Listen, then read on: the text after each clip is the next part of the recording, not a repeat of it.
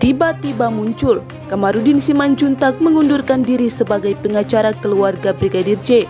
Namun sebelum kita lanjut, jangan lupa untuk menekan tombol subscribe, like and share, serta nyalakan lonceng notifikasi agar Anda tidak ketinggalan berita-berita terupdate dari channel Vera TV.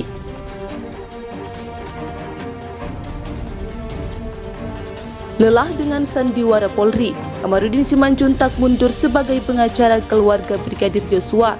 Kamarudin Simanjuntak mundur sebagai bentuk kekecewaan atas proses hukum terhadap Ferdi Sambo yang hanya jalan di tempat. Saya betul-betul minta maaf.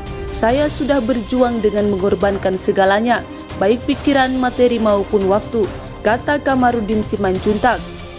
Pengunduran diri Kamarudin Simanjuntak itu juga merupakan keinginan keluarga Brigadir Joshua yang meminta agar kasus Brigadir J disudahi saja.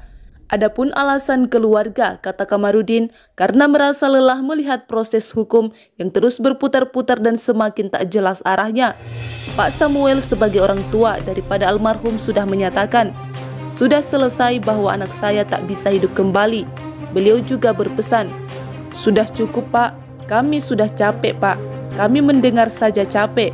Tutur Kamarudin Simanjuntak menirukan ucapan Samuel. Kamarudin juga mengungkapkan proses hukum yang sudah berjalan tiga bulan nyatanya tak diungkap secara terang-terangan. Sudah tiga bulan berturut-turut sejak Juli, Agustus, September, perkara ini tidak terang-terang juga, ungkap Kamarudin. Tak hanya itu, Kamarudin juga mempertanyakan integritas Polri dalam menyelidiki anggota polisi yang terlibat dalam kasus pembunuhan Brigadir J. Semestinya ada puluhan anggota polisi yang diduga terlibat dalam kasus pembunuhan Brigadir Joshua. Sayangnya, dari puluhan polisi yang terlibat, hanya tujuh orang saja yang ditetapkan menjadi tersangka.